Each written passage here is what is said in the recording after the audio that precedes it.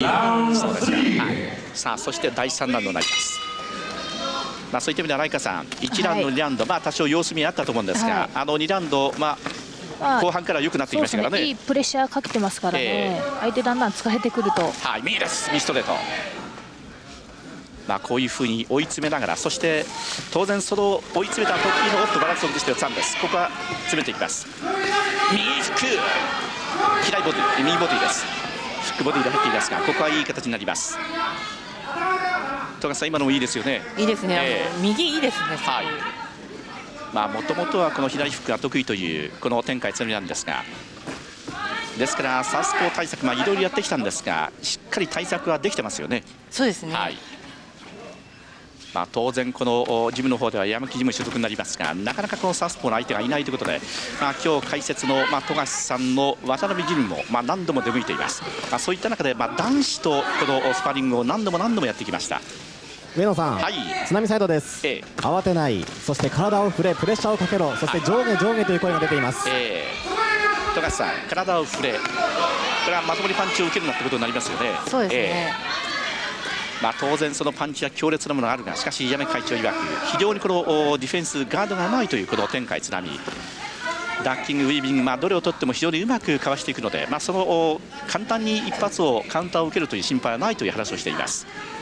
何が怖いってやっぱりライカさんそのカウンターっていうのは怖いですよね、はい、そうですね、えー、まあ、中へ入ろうとした時の人一発なわけですが。さあそしてこの第3ラウンドももう残り20秒といい感じになりましたはいボディです。ボディを滑っていきます。体勢を低くしてそして入っていきます。この天海津波ここもガードを固めます。そして右左と連打。右アッパーです。ここもストレートが入っています。そしてこの第3ラウンドも終了しました。さあこの左チャンピオンのボディが天海さみを捉えていますがこの後です。右のフックが入りました。まあ、ですから富樫さん、まあ、ボディは今受けてしまったんですがその後しっかりこう返していますからね。そうですね、えー、さ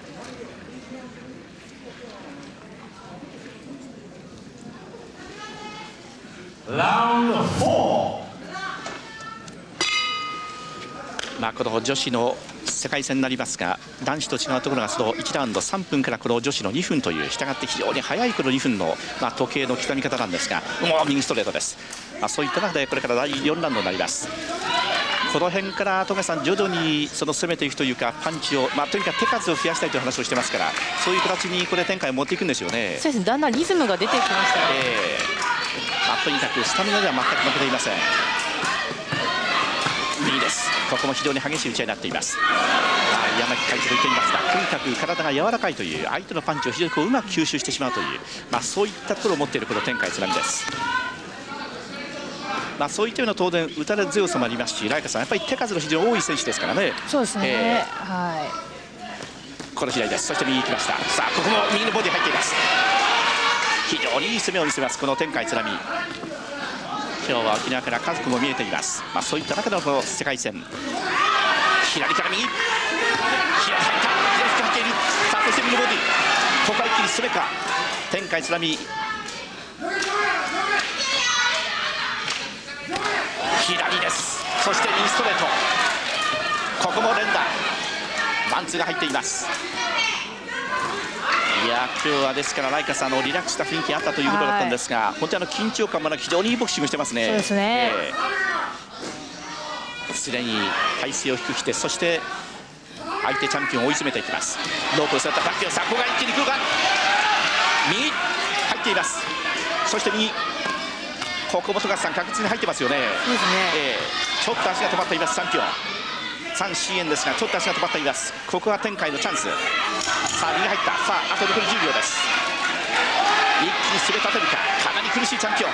さあ展開が攻めていきます。右入っています。左右。右のストレートが入っています。さあそして左。ここでゴングです。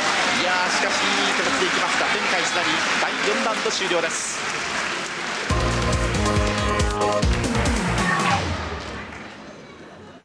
国内で女性さあ赤コーナーのチャンピオンのツァン・シーエン。一方青コーナー挑戦者の天海津波。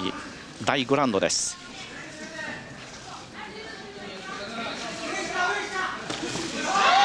右のボディを捉えています。このボディが富樫さんいいですよね。そうですね、えー、だんだん足がチャンピオン止まってきましたから、ね、はい。まあ、そういった意味ではライカさん狙い通りいってると見ていいでしょうかね、はい、いやもう全然いいと思います、はい、後半に、えー、まずはこの第5ラウンドです。ここも追い詰めていきますそして右です。右のボディです。ここも入っています。左キック。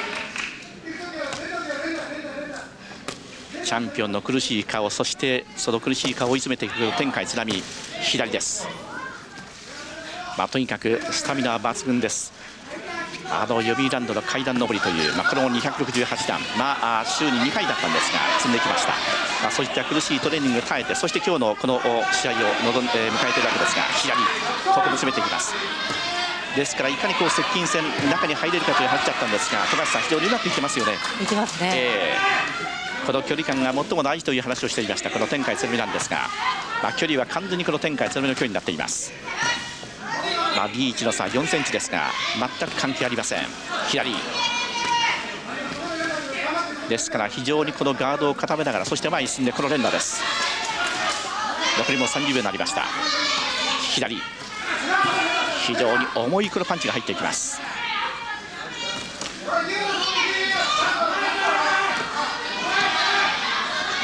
まあ、ですからパンチの威力クリーンヒットを考えてもこれかなり富樫さん、やっぱり展開の方がいいですよね。そうですね。えー、もうだんだん動きが良くなってきて、はい、リズムが出てパンチの回転もいいです、ね、そうですね。ここでだった。さあそしてよくもリードしていますが、ここ追い詰めた追い詰めた一気に行きたいところだが、ここも左に入っている。